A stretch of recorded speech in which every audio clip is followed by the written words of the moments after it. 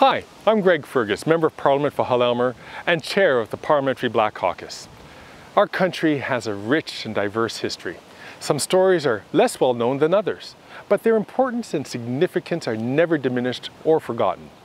Since the 17th century, people of African descent have made and continue to make significant contributions to the cultural, social, and economic prosperity of Canada. While most Canadians are aware of the history of slavery in other parts of North America and around the world, the enslavement of African people in Canada is not necessarily well known or properly recognized.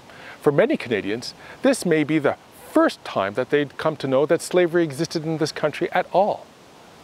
I am pleased that through today's announcement of the new designations under the National Program of Historical Commemoration, the Government of Canada is helping to ensure that the history of slavery in Canada is never forgotten.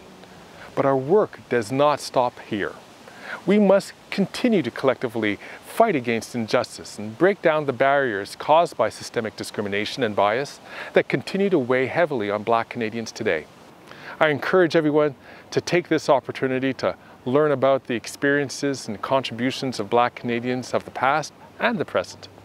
Only when we take the time to truly reflect on, understand, and learn from Canada's history can we move forward as a country.